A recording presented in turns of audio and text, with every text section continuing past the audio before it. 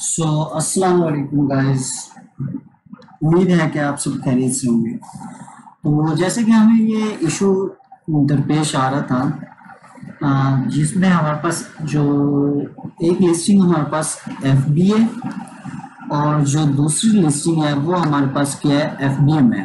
ठीक है एक लिस्टिंग जो है, हमारे पास एफ़ बी ए और दूसरी जो लिस्टिंग है, वो हमारे पास एफ़ बी एम है।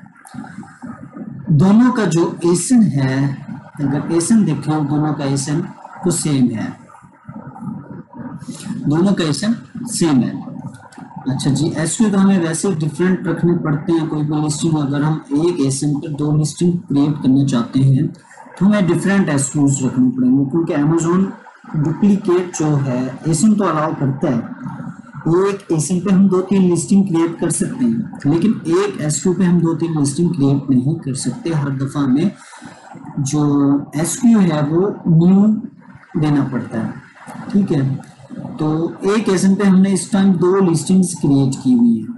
जैसे कि आप देख सकते हैं हमारे पास एक एसन है। उसमें हमने दो लिस्टिंग को क्या किया हुआ है? क्रिएट किया हुआ है।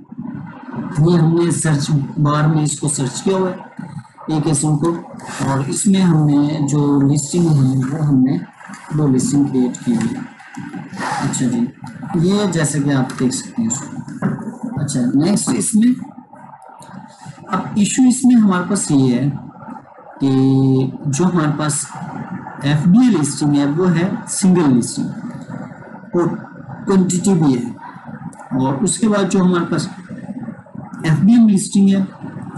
वो हमारे पास वेरिएशन में ठीक है, इसकी भी क्वांटिटी हमारे पास है, लेकिन हमने फ़िलहाल इसको क्वांटिटी जो है, इसकी ज़ीरो पुट की हुई है। ठीक है तो ये हमारे पास एक एफ़ बी सिंगल में।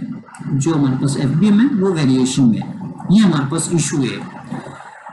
तो हम हम इसको रिजोल्व करना चाह रहे हैं क्या ऐसा वाकई होता है कि हमारे पास एक एफ़ बी लिस्टिंग है एक एसिन पे हमारे पास दो लिस्टिंग है, एक एफ़ बी है, एक एफ़ बी एम है।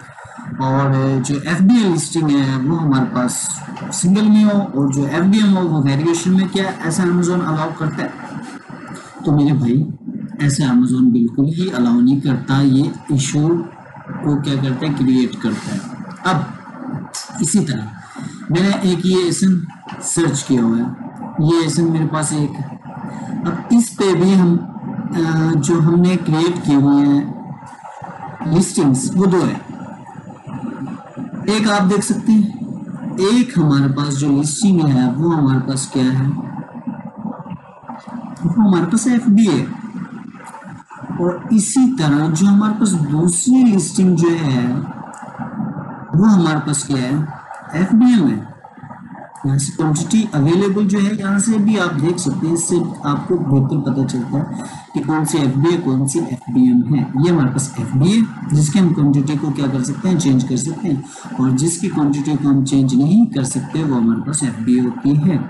तो इसी तरह हमारे पास एफ़ बी और एफ़ बी में, इनमें हमने फिर प्राइसिस का डिफरेंस रखा हुआ है और इनको हमने सिंगल सिंगल रखा हुआ है। ठीक है? तो हमने इनको सिंगल सिंगल है तो ये हमें क्या शो कर रही है फ्रंट पेज पे? जैसे जैसे कि ये देख सकते हैं, एक सिंगल थी, एक वेरिएशन में थी। इसको हमने जब इनका front page front end page open किया तो इसने मुझे, ये मुझे क्या शो करता है?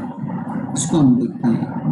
अच्छा जब मैंने इसका फ्रंट पेज ऑन किया फ्रंट एंड पेज ऑन किया तो आप देख सकते हैं कि हमारे पास ये वेरिएशन में आ रही है। और ये हमारे पास एफ़ बी में स्टॉक भी है, लेकिन इधर अनअवेलेबल आ रहा है। तो ये इशू है।